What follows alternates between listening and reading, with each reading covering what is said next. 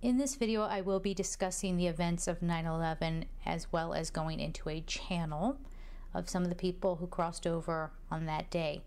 If that would be disturbing to you, please be advised that maybe today is a day to skip. My love to each and every one of you.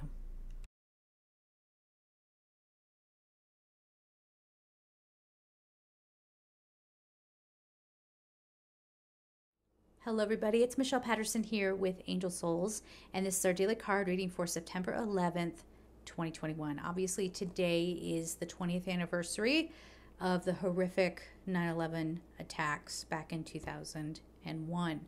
And I know this is going to be a day that's extraordinarily hard for many who were there, saw it, experienced it. Um, who maybe lost loved ones, who later got sick from the recovery process of that. Um, just know that my love is right there going to you. You're in my thoughts. I'm with you. And I also want to pass along a message. I do not know what's going to happen. Um, of course, if anything, God forbid, should occur, I will be back on to make sure I'm talking to people. But if everything is just sort of where it is right now, as of the recording of this video, I want to pass along this message of turn on the heart light. okay, it is that. It is ignite your heart space. There's a message here of being careful of reliving the tragedy over and over and over again. And I know that might be controversial for some of you uh, who say, you know, no, I'm still processing. If that is where you're at, of course, you know, there's no time limit on grief. But if you're off living your life and then all of a sudden, you know, it's, we all have to be grieving again. The heavy stuff. You know what I'm saying? You see what I'm getting at here? I'm not saying don't honor. I'm not saying forget. I'm not saying anything of the sort. I'm saying hold the light. Please hear me. Hold the light. That is the protection we need. That is the protection your loved ones on the other side need. So let's honor from the heart, of course, with love.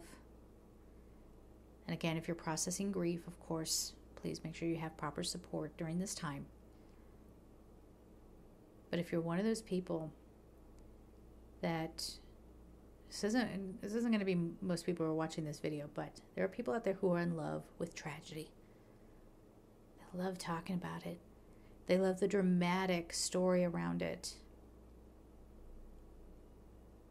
Now, I understand sharing your story of that time. Any American you come across will, it takes nothing to get them to talk about this time. And they know exactly where they were. They could smell the air from that day. It's a trauma. But the people who are out there in love with tragedy and they just want to tell the story to like own that tragedy for themselves. I know this sounds weird, hang with me. They're up to no good. They want you to be low. They want you to hurt. They're a puppet of a thought form. Not everybody's going to understand what I'm saying here. And that's okay. If the only takeaway you get here is that I love you and I'm with you, then that's it. That's good enough. But for those of you who are meant to hear the message of watch for the tragedy lovers, people who love drama, and that's what they're connecting to in this, light up your heart and drown that out. I'm I'm literally seeing water, so I don't know if I don't know. I see waves crashing too. I don't know if there's going to be any weather coming up towards New York that day.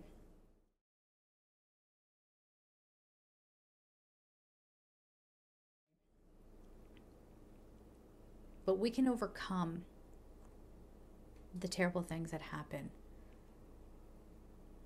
through that portal to our soul. And I know a lot of people be like, oh my God, did she just say that? Yeah, I did. okay, the heart space, a portal. Let's come at this with strength, courage, and love.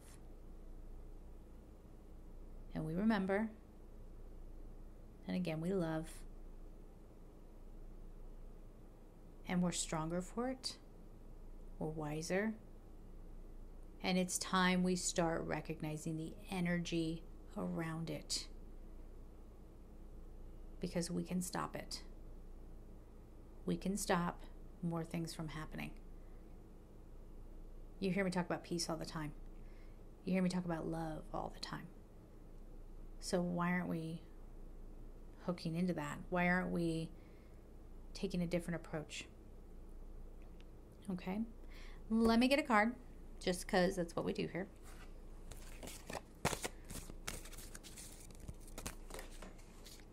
I just had a card fall down. Hold on one second.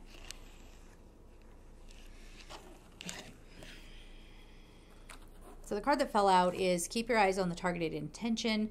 Thank you, Archangel Michael, for helping me focus on my inner vision and intention. That's what I'm saying. When people are sort of um, falsely mourning, and then what are some of the people going to say? your your energy is dark. You don't you know determine who feels what when why and how. But i don't i don't mind that. Because the people who need to hear it you hear me. You hear me. All right. I ask for your guidance in releasing any fears or doubts granting me the confidence and courage to take action toward realizing my dreams so i feel like watch people's intentions. That's really, I mean, this could be a personal message for you uh, for today, but this is, uh, I see the word targeted. Careful. Just be careful. Okay. Targeted. And then intention. What are people's intentions? Now, some of you, your mind went to, well, there's some evil intentions out there. Certainly. But uh, we can combat that with our pure intention.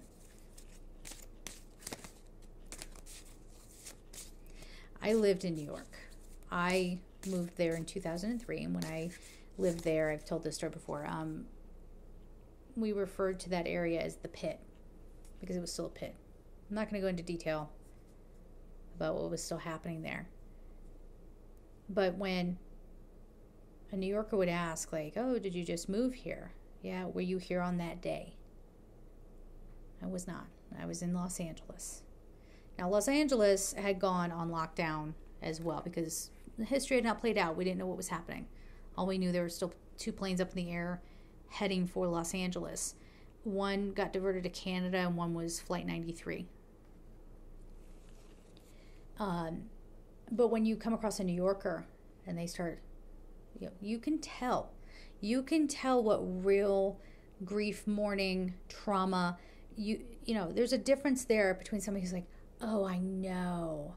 Oh, I was like in northern Manhattan and upper Manhattan. And when I heard it, you know, it doesn't mean that they didn't feel anything. Let me make this clear. It's not like they weren't traumatized by it too. We're talking about an energy. What kind of energy are they putting into this? Is it drama? And like I said, like really fabricating the story around how close they were to it. And you feel me? a lot of you are going to feel me. I'm probably going to get a little bit of backlash about this uh, video, but if you hear me, you hear me, right? Lean on God and the angels for support. This is a big one for many of us today. Uh, dear God and angels, I give you this uh, situation, and let's say today the 9 11 situation, uh, now and completely. I step out of the way and allow divine miracles to shine through everyone and everything involved. All right. So, again, people who are reliving this they're saying reliving it in honor of your loved ones who crossed over or were even mentally affected by that. You do them no honor by reliving the tragedy. You do them no honor by reliving the tragedy. Celebrate them, celebrate their life. not that you're celebrating, right? It's not it's not a celebration, it's um a memorial. But that is definitely a big message that is coming through. You don't need to hang on to the tragedy to hang on to your loved one. You don't have to hang on to the you don't need to torture yourself with this. They're helping from the other side. oh.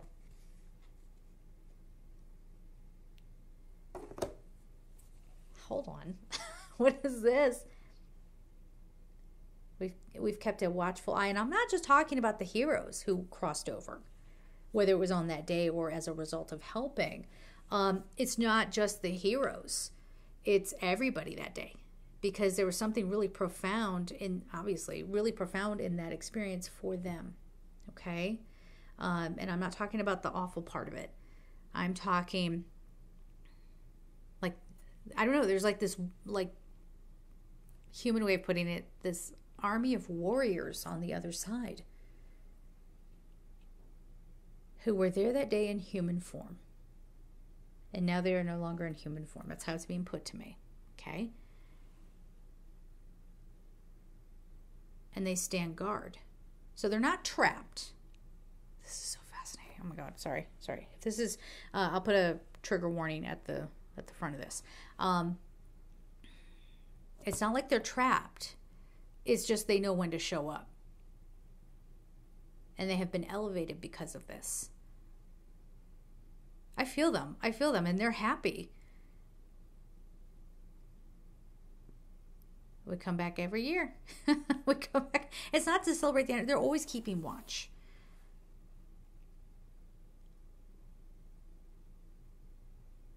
I want to be careful with this because I don't want to.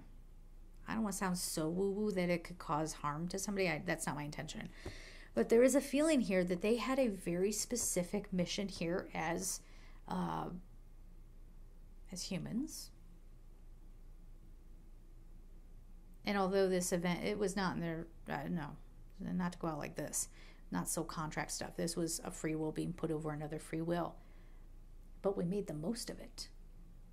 When we figured out what was happening, we said no. What do we need to do? Well, we as souls need to detoxify or uh, cleanse, go through a process of cleansing. And then we got ready. They elevated. And we're ready now. So they come back and come close to comfort the mourners. Just fine, if that's what you need.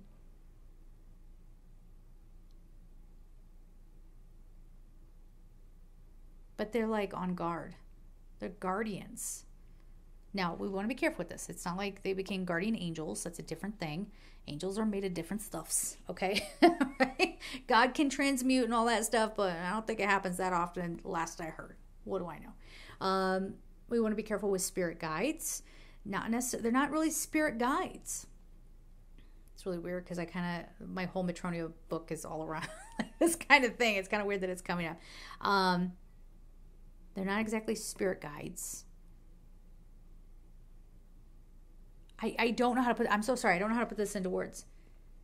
So they've crossed over, they've done a a, a reboot. They're, you guys are funny. They're calling it a reboot. um, and we stand guard and if we can get people to listen to us, it doesn't have to happen again.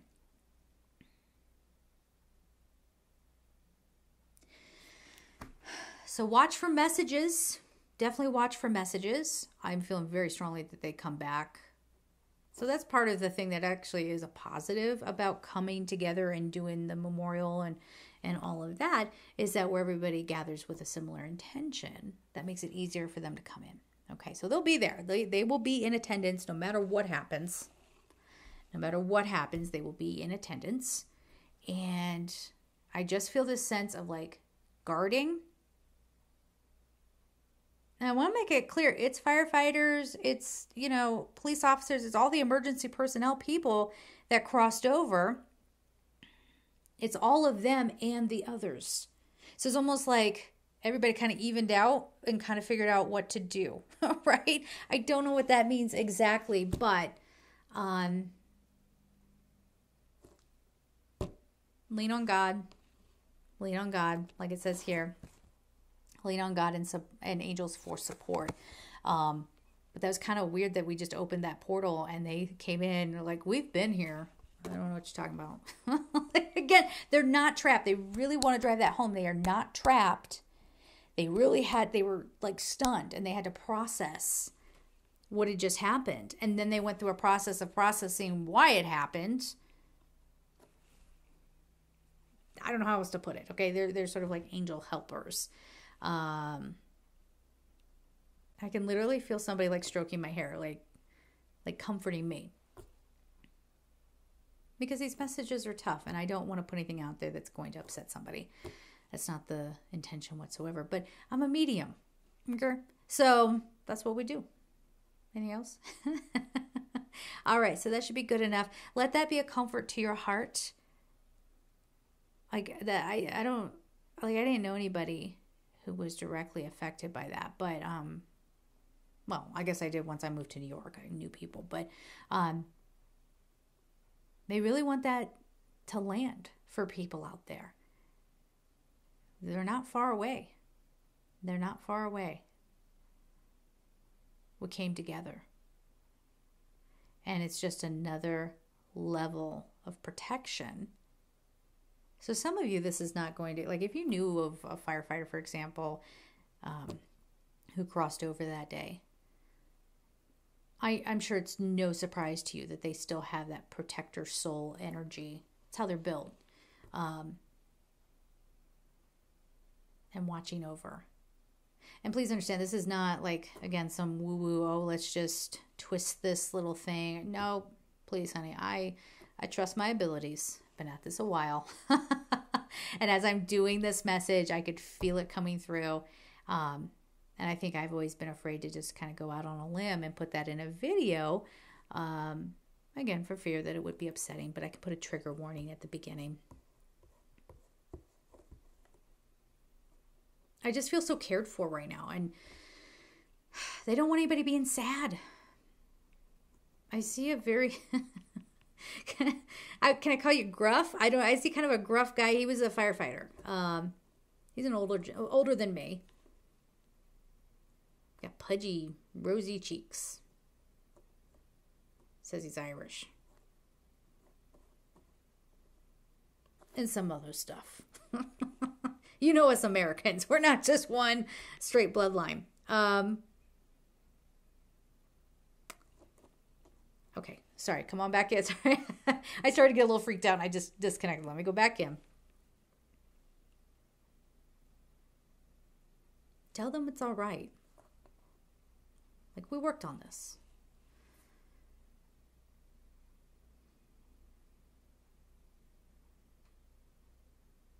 We see you every year.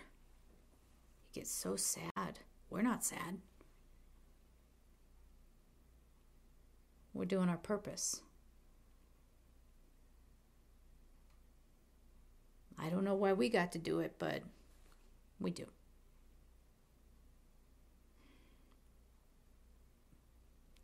He's doing this. He's going, listen to this girl. Thank you. listen to this girl. Keep love in your heart. And if you're sad, okay, honor your real feelings but they're doing better than any of us. and they are so full of purpose. Their souls are so lit up. A couple of them are still in the place of processing because they don't want to let go. But some of them are being drained by people who I don't I, I they're kind of far away. They're staying far away from me, but it feels like they are very attached to they're not lost souls or anything like that but it feels like someone else's um i hear constant mourning and constant constant grief keeps them attached so bear that in mind okay we good all right love to everybody all right guys i hope this wasn't triggering for anybody um hopefully The intention is for it to be healing and to be eye opening. And we're going to leave it there. As always, I'm sending you all so much love and take care.